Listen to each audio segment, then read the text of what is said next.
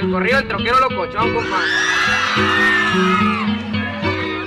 Siento que arranco la carretera, voy emperrado por la costera, me troque casi se despapaga, pero pura madre se me raja, que un fletazo para el otro lado, y voy a ganarme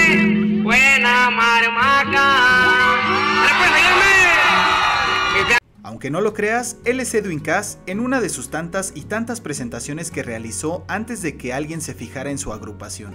Ahora, Grupo Firme se ha consolidado como una de las agrupaciones de regional mexicano más importantes de la actualidad.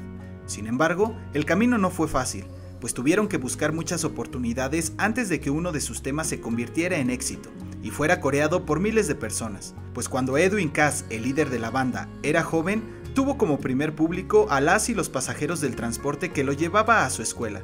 Esta es su historia. En una entrevista con Ernesto Barajas, vocalista del grupo Enigma norteño, Edwin Cass recordó los principios de su carrera, cuando se subía a los camiones a cantar para llevar un poco más de dinero a la escuela a la que asistía en Tijuana, estado al que se mudó desde que era muy pequeño.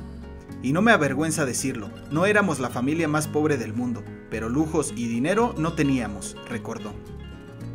Pero en sus inicios, no solo la falta de dinero fue un obstáculo para Edwin, pues recordó que Eliseo, la pareja de su madre y que él veía como una figura paterna, no estaba de acuerdo con que se dedicara a la música, y fue una de las personas que lo alentó a continuar con sus estudios, pues temía que cuando Cass comenzara a dedicarse de lleno a la música, se entregara a vicios como el alcohol y las drogas.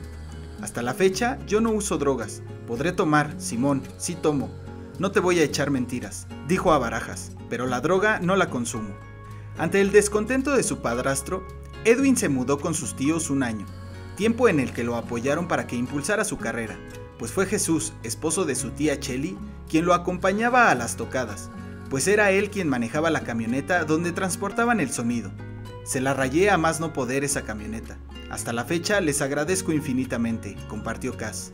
Fue así que Edwin emprendió un camino largo, pues antes de que Grupo Firme se creara, fue integrante de otras agrupaciones como Reto Cerreño y Aventados de Tijuana, con los que habría bailes a la hora en que el público todavía no se concentra y no hay ni un alma animando el escenario. En 2014 llegó el momento en que Grupo Firme se integrara con su impulso y el de Joaquín Ruiz. A partir de ahí se presentaron en escuelas, bares y eventos pequeños, y para 2017 lanzaron su primera producción musical, Pasado, Presente, Futuro del que se desprende la canción Perdóname, uno de los temas más queridos por sus fans.